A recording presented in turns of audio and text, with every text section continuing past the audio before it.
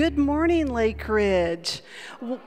It's so great to see your smiling faces. So, welcome, and all of you joining us online and Facebook and through our website. Welcome. I'm Suzanne Wampler, the Director of Pastoral Care, and we are so glad that you're here, especially those of you here here in person. We want to tell you that we are committed to making this a safe environment for you so that um, when you come, you feel comfortable. We are cleaning and doing all the extra tasks that need to be done to keep us safe during this virus. We appreciate you loving each other and respecting each other and continuing to social distance during this time as well. So, thank you for that. If you're a visitor here, we have a special welcome for you, and we'd like you to stop by the welcome desk when you leave today. We'd like to put a name with your face and see if we can help get you connected here at Lake Ridge. We believe in prayer here at Lake Ridge, and we want to lift up your needs. So if you have a prayer request, we would love to hear from you. You can pray, um, you can send those prayer requests in several ways. You can do it from Instant Messenger, from Instagram, Facebook, or the old fashioned way, you can catch me and ask me to pray for you, and I'll be glad to do that as well. Um, but today, starting today, we have a special um, opportunity for you. Every Sunday, starting today, between the services, starting at 1010, we will have some prayer team members down in the Wesley Chapel. And if you would like to stop and just share whatever's on your heart, they would be glad to pray with you. So, just starting today, if you're interested in, in stopping by the chapel, please do that and let us help lift up your needs. And I know you can't believe it because it's snuck up on me too, but the season of Christmas is upon us. And we want to decorate our sanctuary and our building in a beautiful way, but we need your help. So, what we call Deck the Halls is next Sunday. So, we need you to stay and help after the 1030 service if possible. It will go really quickly if we have a lot of people stopping to help. So we will social distance, so wear your mask and just come be ready to enjoy the music and the fellowship and make our church beautiful. And speaking of Christmas, it's time to start thinking about the poinsettias that we use to decorate our church. Those will go on sale starting today, and they will go through December the 9th. That's a Wednesday. They are $25 each and may be purchased in honor or memory of a loved one. So if you're interested in that, be sure and fill out the form. There's some on the welcome desk, or you can call the front office or you can go online if you're an online person and request one of those poinsettias. Also, I wanted to bring to your attention, I've noticed some of you stopping at the welcome desk and scanning your QR code on your phone. So, good job on that. There's also other announcements in the bulletin that you can pull off of your phone from the QR code. So, if you need help with that, just stop and someone out there will help you. Now, we would like to begin our opening act of worship with our affirmation of faith. Would you please stand and join me?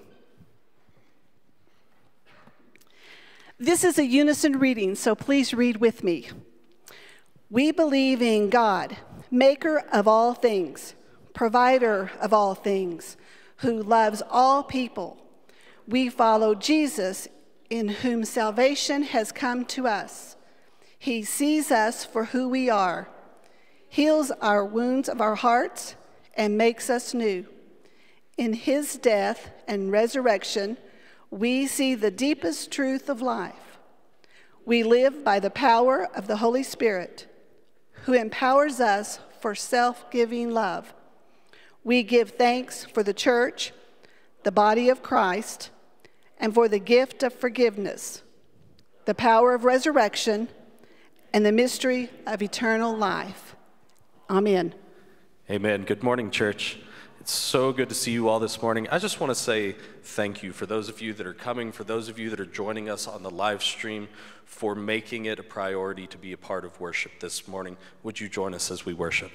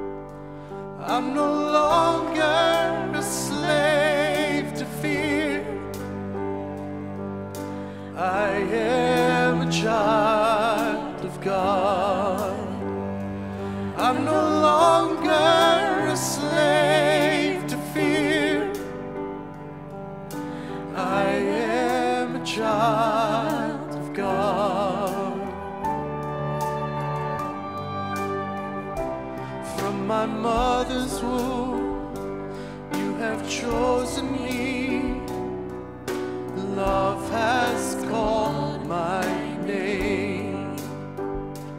I've been born again into your family. Your blood flows.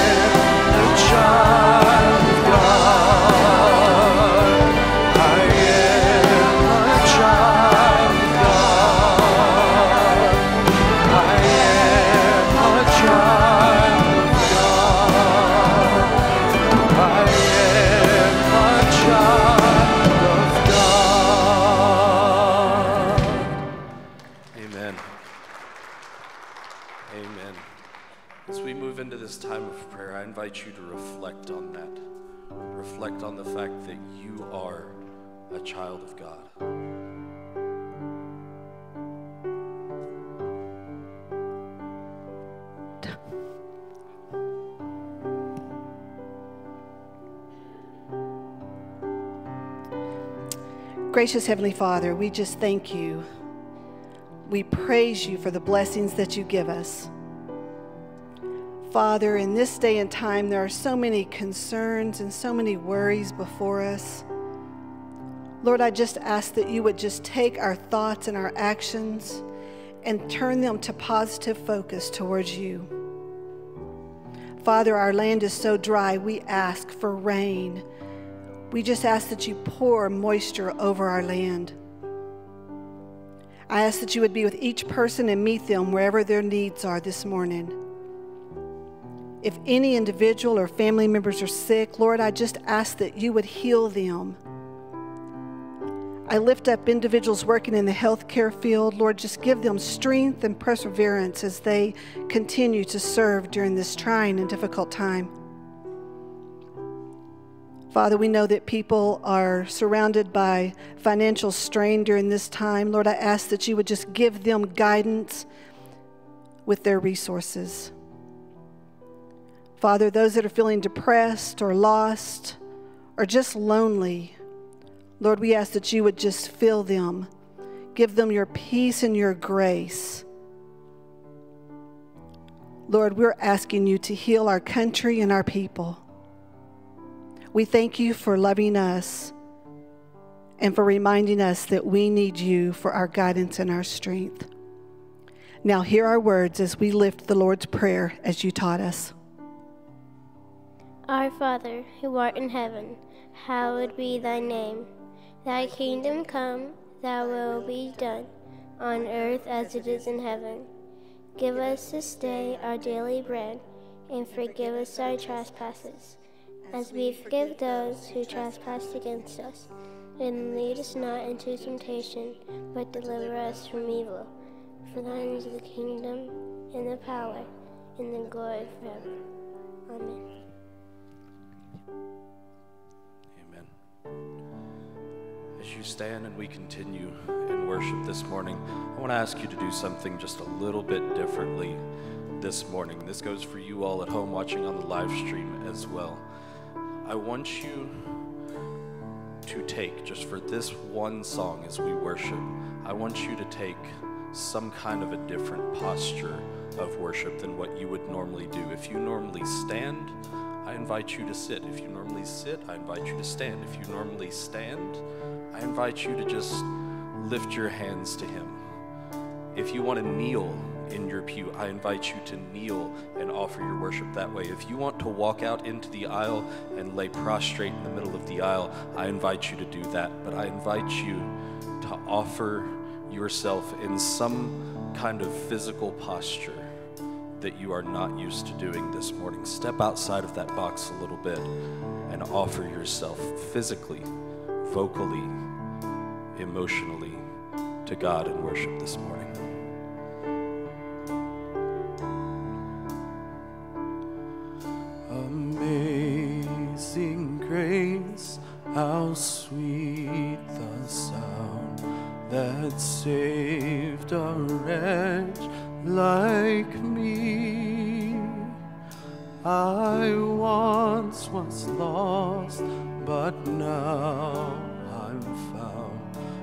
Was blind, but now I see.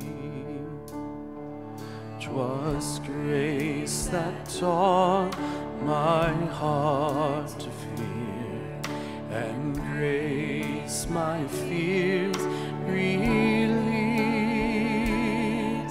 How precious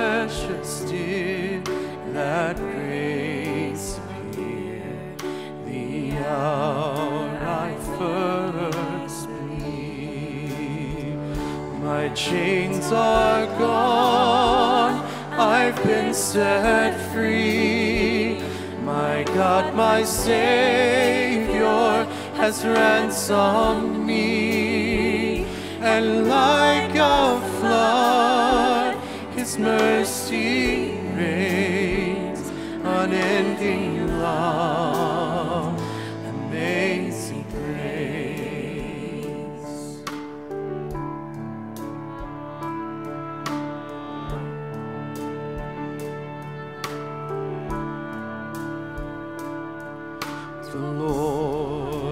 has promised good to me. His word my hope secures. He will my shield and portion me as long as life endures. My chains are gone, I've been set God, my Savior has ransomed me.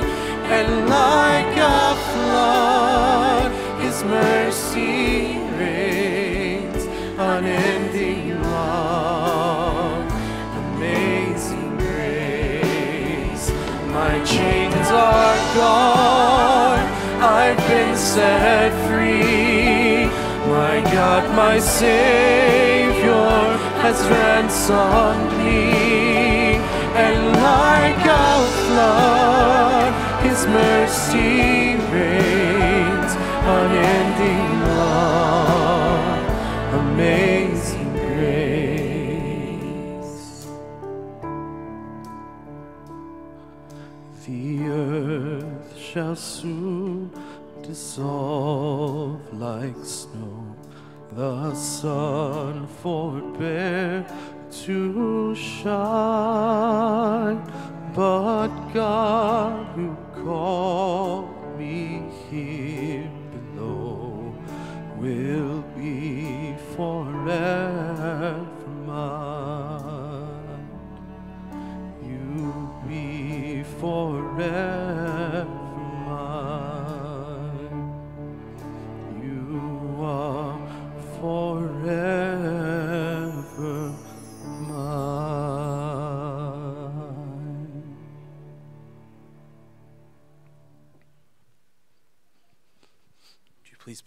as we as we enter into this time of offering.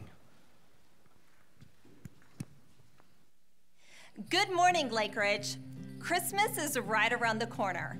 And with the changes and adjustments we've had to make all year, Christmas Eve will be no exception. In order for everyone to safely enjoy our annual candlelight Christmas Eve services with your family and friends, we're implementing a new reservation system.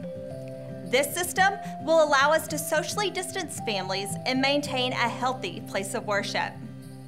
This year, we will also be offering four different services.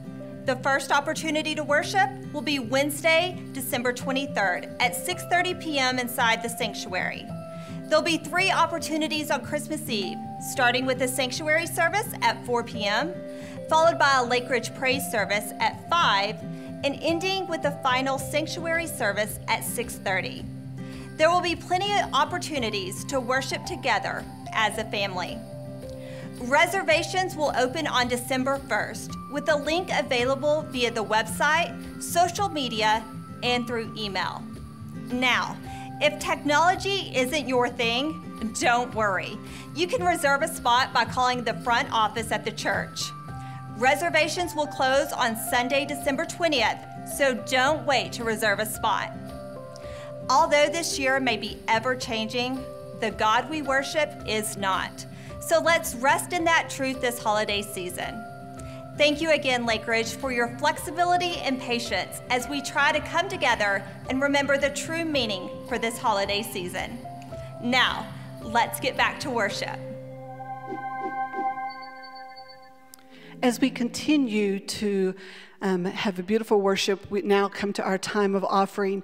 Um, we are still not passing the plates, but there are envelopes in the pews if you would like to use those. Just drop your gifts in the offering plate as you leave the service this morning, or you can continue to give online or through text if you would rather do that. Um, we, would you please pray with me now? Heavenly Father, we just lift up these gifts to you. We thank you for the blessings that you have given us. So take these tithes, offerings, and extra dollars and use them for your kingdom. In your name we pray. Amen.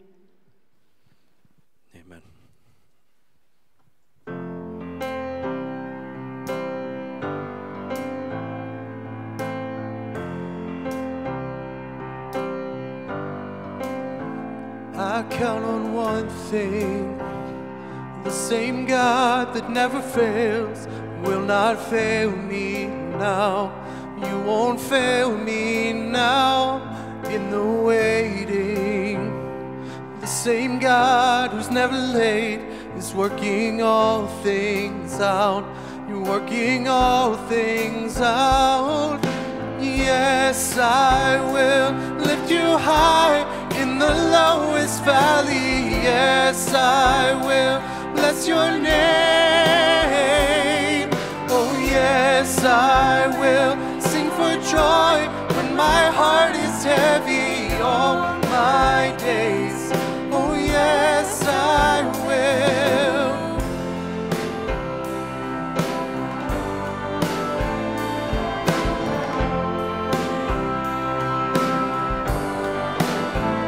I count on one thing. The same God that never fails will not fail me now. You won't fail me now in the waiting. The same God who's never late is working all things out. You're working all things out. Oh, yes, I will lift you high in the lowest valley. Yes, I will bless your name. Oh, yes, I will sing for joy when my heart is heavy all my days. Oh, yes, I will for all my days. Yes, I will. I choose to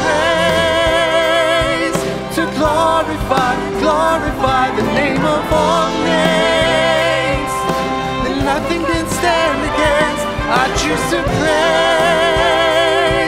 to glorify, glorify the name of all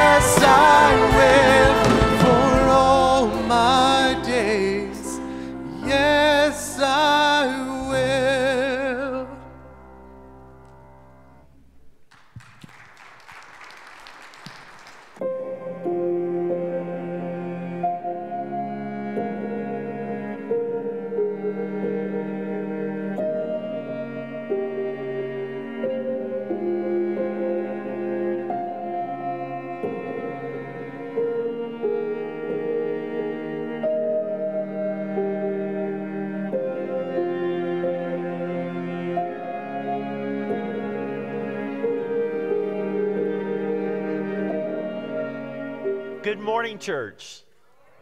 Good morning to everyone worshiping with us through the live stream. We are so glad that you would join us this morning and be a part of our worship together. This morning, we're going forward in our series that is entitled Capturing Rebellious Thoughts. And one of the things that we've talked about over and over again in this series is the idea that your life moves in the direction of your strongest thoughts. I want to restate that a different way that I hope might give us even more clarity about this. And I'm, here's how I'm going to say it if you don't change how you're thinking, you can't change your life. We've been looking at the Apostle Paul because he's an incredible example for us of someone who learned how to master his thoughts. He had success in this area. And so I would believe that, that by looking at him, hopefully we can gain some principles and thoughts that will help all of us with being able to, to master our thoughts and, and to capture our rebellious thoughts and make them obedient to Christ. The key passage of scripture that we've used in this entire series has come to us from 2 Corinthians chapter 10 verses 3 through 5 and it says this, "For though we live in the world, we do not wage war as the world does. The weapons we fight with are not the weapons of the world. On the contrary, they have divine power to demolish strongholds. We demolish arguments and every pretension that sets itself up against the knowledge of God. And we take captive every thought to make it obedient to Christ. Now, it used to be that, that there was this idea that once you had reached adolescence, that your brain was pretty much fixed. And what we know now from research is that isn't true at all. Each time we have a thought, it creates what's called a neural pathway. And the more you think a thought, the easier it is to think that thought again. Now, that's a really wonderful thing if you are thinking about whatever is pure and lovely and holy and good, right? If you're thinking that, that's a, a, wonderful thing. But here's the problem for a lot of us, that's not where our thoughts are. A lot of us have negative thoughts or, or, bad thoughts, and we allow those thoughts to play themselves over and over again in our minds, and it gets easier and easier to do each time that it happens. This morning, I want to talk to you about a, a, new idea that we haven't discussed yet in this series, and it is the idea of cognitive bias. And I just want to read a definition to us this morning. It is a mistake in reasoning based on personal preferences or beliefs. And so, what it is, is it becomes a mental filter that we have that we view things through, but it's not necessarily accurate. As a matter of fact, sometimes what it does is it leads us astray and causes us to take up action in our lives that we don't need to act upon. And so what happens is that it, it, distorts things for us. It, it discolors situations, and we see them in a way that creates a bias for us. And so here's an example of that. Let's say that you're in a, a workplace environment, right? And let's say that there's a boss or a supervisor or someone, and that person, she decides that she's going to give feedback to her staff, right? And, and, so she's got a couple of people that are sitting there, and they're hearing the exact same words. They're in the same room at the same time, all right? But then the only thing that is different is the filter for each one of them. So you've got one uh, of the team members there on staff, and, and they hear that and they're thinking, I'll give you some feedback. You know, I don't, I don't think I like that. You know, like they, they hear it and they get kind of defensive, right? And, and that's how they take it. And then you've got the other staff member, and they're hearing those exact same words, and they're thinking, wow, you know, I, I don't think I've ever thought of that before. This is really helpful information to have. Same exact message, two different people, but they hear it in a completely different way. The only difference that they have is the filter through which they are hearing that. When I think of this, uh, I, I think about our perception of how we understand and see God as Father. If you grew up, let's say, with a wonderful father, with a, a, father who knew how to bless you and nurture you, encourage you, provided for you, did all the things that a dad is supposed to do. Guess what research tells us? It's easier for you to think of God as being your heavenly father. You know what else we know? If you grew up with a dad who wasn't a very good father, who, for whatever reason, wasn't able to live into his fatherly responsibilities, maybe an abusive father or a father that was absentee, guess what that means for you? It's more difficult for you to view God and understand Him as a heavenly father. It's a cognitive bias that develops within each one of us. Now, to deal with this issue of cognitive bias, as we're thinking about how do we capture these rebellious thoughts, how do we demolish them, how do we make them obedient to Christ, I want to talk to you about a tool that I think is available to all of us, something that we're all capable of doing, and it is the idea of reframing something. And so when we think about reframing, it's creating for us a different way of understanding, a different way of looking at something by changing the meaning of what we're experiencing. I think about the story about the little boy who went out in his backyard to play baseball, and he had his bat and he had the ball, and he uh, says to himself out in his backyard, I am the greatest batter in the world. And he throws the baseball up and he swings and he misses. But he's not deterred. He, he picks the ball up and he's got his bat and he says one more time, I am the greatest batter in the world. And he throws the ball up and he takes his bat and he swings and he misses again. All right, no, no problem. And so he reaches down, he grabs the ball, and he declares a third time, I am the greatest batter in the world. And he tosses the ball up, he grabs the bat, and he swings. And he misses again three times. And you're out, and he thinks to himself for just a second. And then he declares, I am the greatest pitcher in the world. I just struck out the greatest batter in the world. Now, that may seem a little bit silly, but it goes toward this idea that we can reframe a situation by choosing to think about it differently. Let me, uh, you know, and some people call this uh, cognitive restructuring, if you want to get technical about it if you're a simpler mind like mine, we'll just call it thinking differently.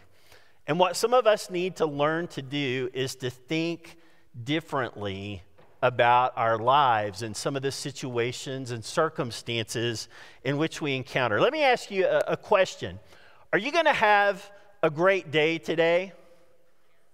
You are? All right, because you know, some people hear that question. It's like, yeah, my day is going to be great. Other people go, no, my day is going to be average. Some people may go, no, my day is going to be kind of pathetic, right? Now, how do you answer that question? What, what determines if you're going to have a great day today? Well, your thinking does. And so if you think you're going to have a great day today, you'll probably have a great day today. But if your mind is kind of in a negative uh, mindset and, and that's how you're looking at it, guess what your experience is probably going to be? It's probably going to be negative. If, if you look at life through the lens where you believe that God is good, good is probably what is going to come your way during the course of your day. Church, we cannot control what happens to us. But what we can control is our response to what happens to us. Let me, let me say that again. That's a really important thing for us to, to grasp and hold on to. You can't control, you absolutely cannot control what's going to happen to you, but you can control what your response is going to be. I think about this, and I think our inspiration is absolutely Paul. Paul had a calling on his life to preach, and it was Paul's dream that he was going to go to Rome and he was going to preach. And what happens for Paul is he ends up in prison instead, right? That's not what he had, had dreamed of. Paul's dream is one thing, and then here's his reality right? This is what's actually taking place. These are the circumstances in which I find myself. Now, some people would think that, that Paul would have written to the Philippian church in Philippians 1 12 and 13 in the NWV version, the new Whiner's version, these words. Now, I want you to know, brothers and sisters, that what has happened to me really stinks. That's not what Paul did. Paul took the situation that he found himself in, he took his circumstances, and he reframed them. Right? He chose to think differently about the situation in which he was in, even though it was not what he had desired. And here is what Paul says to the Philippians in Philippians 1, verses 12 and 13. Now I want you to know, brothers and sisters, that what has happened to me has actually served to advance the gospel. As a result, it has become clear throughout the whole palace guard and to everyone else that I am in chains for Christ. Remember, I can't control what happens to me, but I can control how I respond to it. And so Paul says, this, this has served to advance the gospel. And then he goes on, and in verse 14, he says this And because of my chains, most of the brothers and sisters have become confident in the Lord and dare to proclaim the gospel without fear. So for Paul, he looked at said, Okay, I'm in prison. This is my reality. This is what I'm dealing with. But you know what? I get a new guard every eight hours, right? And so that's an opportunity. And so every time I get a new guard, I've got eight hours to share with that person about the transforming love of Jesus Christ. Every eight hours, I've got a captive audience. they've got to sit here with me. They don't have any choice. And so I am going to just talk about Jesus with all that I've got. And one person at a time, eight hours at a time, Paul chooses to reframe the situation. And what does it do? It advances the gospel of Jesus Christ. And what I wanted, not what I was dreaming of, not what I thought I was going to be doing. But here is what can happen when I take on the mind of Christ and I allow His purposes to dwell within me. So even when life doesn't allow us to be in control, the one thing that we can do, the one thing we can control is our response. I want to just offer us a few principles this morning of ways in which I believe that we can do what Paul did as we reframe our situations, as we reframe whatever is happening in our lives. And the first principle is this thank God for what didn't happen. Have you ever had something come your, your way in life and it's not anything you would have wished for, right? And it is something and you think, oh, this is, this is awful. But then what if you were to stop? And instead of dwelling on what just happened, what if you were able to think about what did not happen? So, so here's an example. Let's say that you've got a really pressing project at work, and there's a lot on the line with this project, and you don't get the project in on time, and that means you don't get the bonus. It means that, that things aren't going to happen the way that you had really desired that they would. But what if instead, after when that happens, you think, but at least I've got a job? At least I've still got a paycheck. Have you ever been involved in a wreck? Isn't it the worst? Isn't it just a sick feeling when somebody like backs into your car or something and you hear the crunch of the metal and, and stuff and you get out and you look at it and you think to yourself, this is going to be thousands of dollars to repair for this. Even a small dent is going to cost thousands of dollars, and I'm going to have to file with my insurance and then the deductible. And, and does this other driver even have insurance, right? But what if in a moment like that, if you stop and you say this, but at least no one was hurt? Cars are repairable, cars can be replaced, people cannot.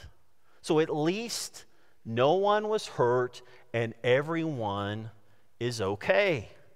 Maybe uh, there's another scenario. What, what about this one? I, I love this one. If, if you ever fly very much uh, for business or, or for just for pleasure or whatever, right? Have you ever been at the airport and your flight gets delayed?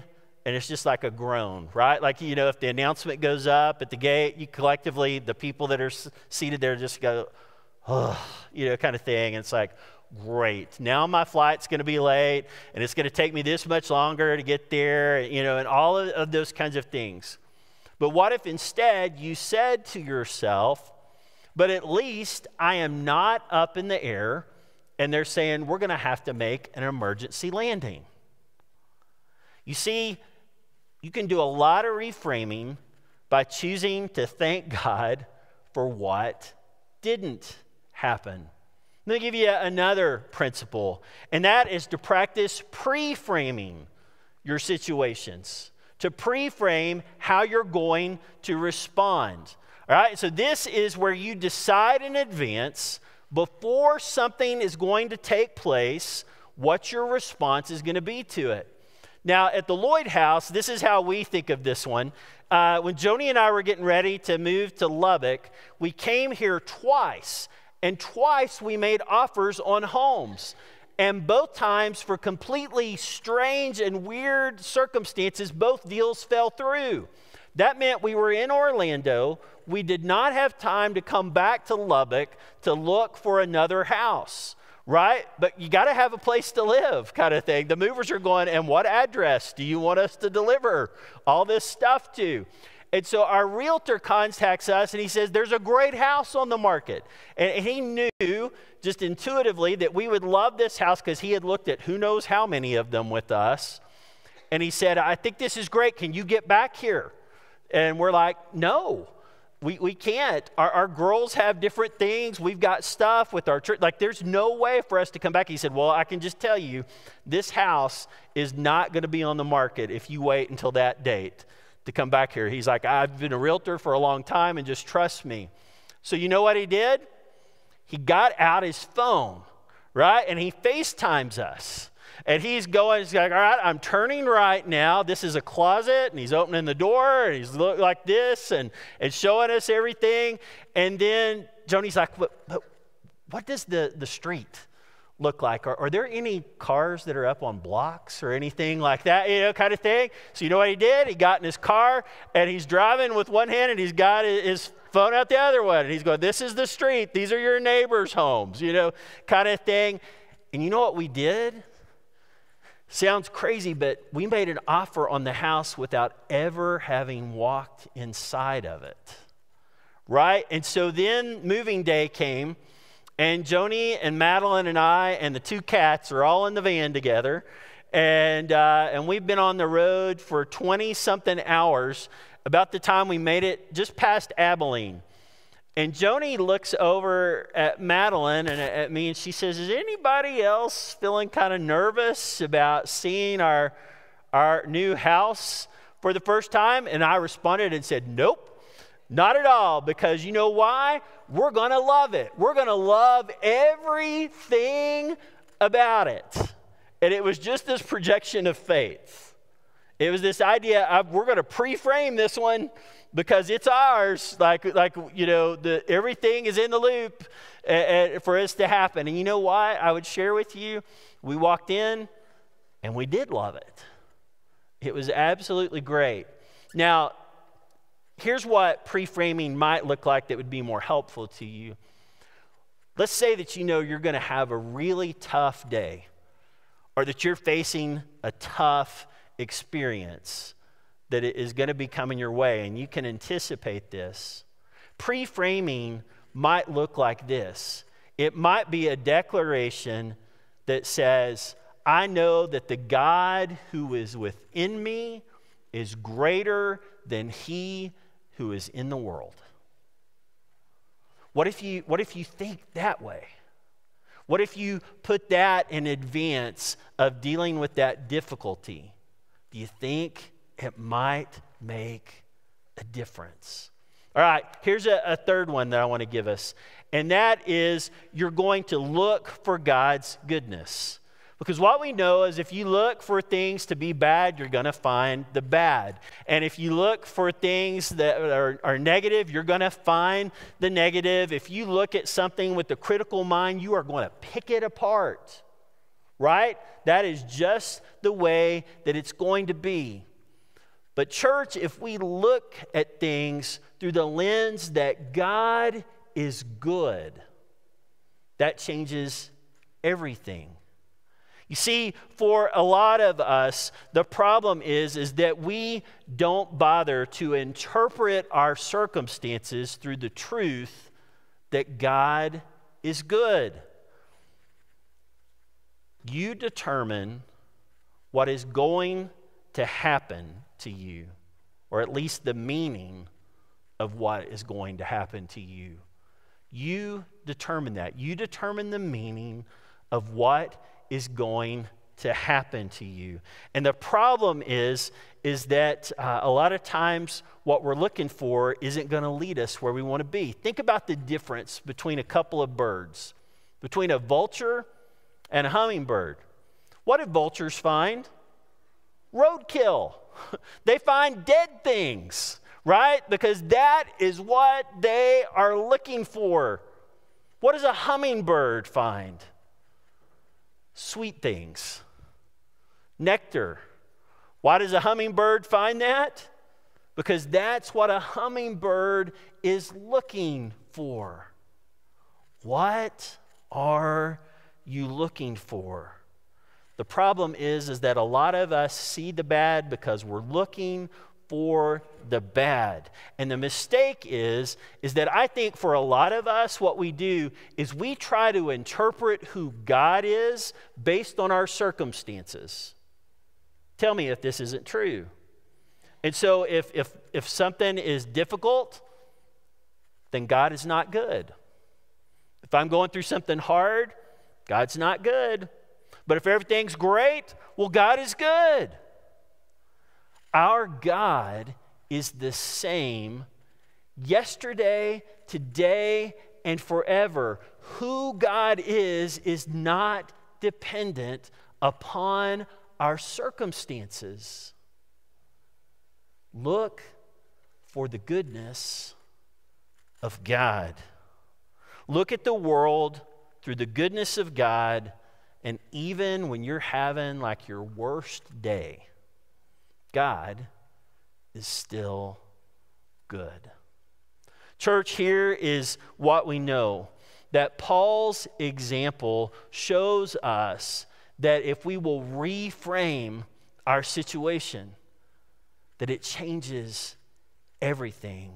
The question is, will we discipline ourselves to do that? Would you pray with me? Father God, it's pretty clear from what Paul did that we can choose to reframe our thoughts. We see the, the power of what happened in his situation. And Lord, I pray that it would inspire us today, that it would cause us to, to be able to evaluate our own circumstances, our own lives, And Lord, that it would help us to think about our mindsets.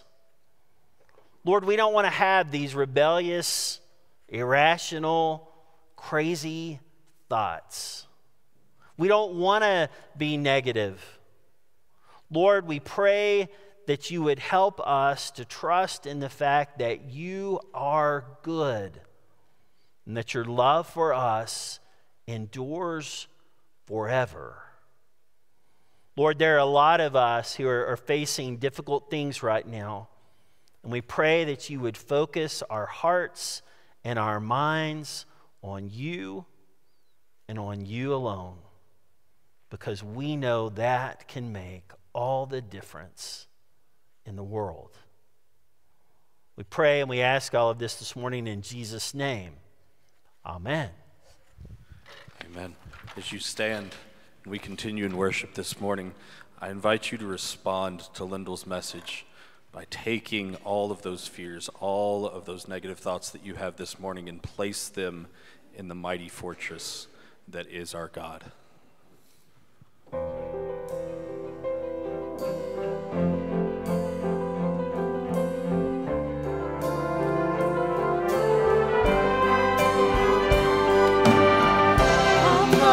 Fortress